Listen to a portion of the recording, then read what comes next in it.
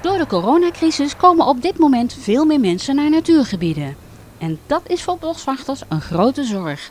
Zeker nu het broedseizoen eraan komt. In een gezamenlijke campagne van de boswachters van het Goois Natuurreservaat, de landschappen, natuurmonumenten en Stadbosbeheer vragen wij even in deze periode van het broedseizoen extra aandacht voor de kwetsbare natuur.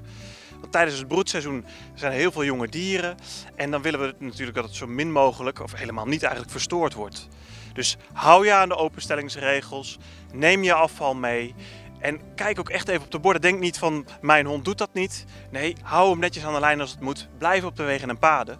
Je moet het eigenlijk een beetje vergelijken met op kraamvisite gaan. Als je bij iemand op kraamvisite gaat, dan hou je ook altijd rekening met de rust. Je houdt goed afstand en je zorgt dat de hygiëne zijn heel belangrijk. Dus als je een gebied bezoekt, lees op de borden goed de regels. Kijk ook naar de posters die op veel plekken komen hangen over de campagne Welkom in de kraamkamer van Moeder Natuur. En probeer ook echt, of nee, probeer het niet, hou je ook echt aan de regels, want het is heel belangrijk. De natuur is erg kwetsbaar en in deze tijd al helemaal. Dus ga vooral naar buiten, maar heb respect voor Moeder Natuur.